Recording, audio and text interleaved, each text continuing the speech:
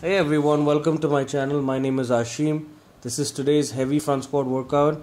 I did 275 for, for a cluster set, 305 and 295 for a drop set, 285 and 275 for a drop set, and then I did two sets of uh, walkouts. Okay, so this is set number one, 275 for two reps, then there's a mini rest, and then I'll do two reps again. I think one of the, the biggest challenges that I have in terms of actually executing these cluster sets is getting over the mental block that I have of being able to re-establish equilibrium once my rhythm is disturbed because of that mini rest that's thrown in there. You asked me to do 275 for 4 reps. I may or may not be able to do it. Right now, I think uh, I'm not at a stage when I where I can. I can do 275 for 3 fairly easily. So this is my way of sort of uh, solidifying my workload capacity. I had a really, really long, hard day at work. So when I went into this workout, I actually thought I, I had to choose. As you guys know, some of you who follow me, will, you guys will know that last week when I should have done front squats, I decided to skip that workout and do some overhead pressing and uh, bench press work. See, I'm laughing. I can't even keep a straight face because I actually did that. Uh, I skipped. Uh, I skipped leg day. I skipped leg day to do uh, chest and shoulders. Not very wise, but hey, whatever. I'm a deadlift guy. It doesn't really matter.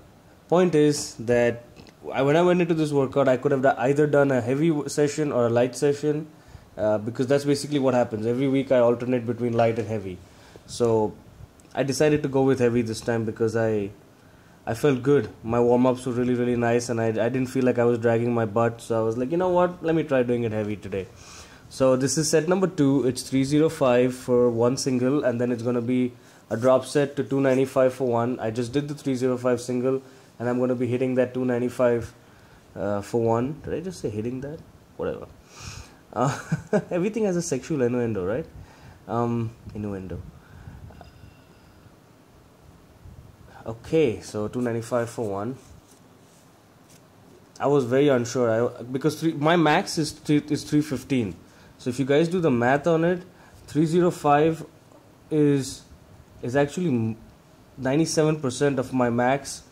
295 is 93 94% of my max. So both these weights are like really this is this is maximal end strength and I'm doing it for two two singles and a drop set. So I was really really worried about this set but hey I got it.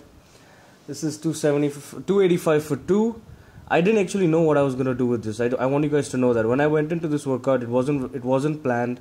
I didn't have a set routine. I just knew that I was gonna do a couple, a few heavy sets. Last week we did three heavy sets. This week also we've done three heavy sets. But last week we did, uh, not last week, the week before that I I did three reps, one rep, and one rep. So that's just five reps. This time, in these three sets, I managed to get ten reps.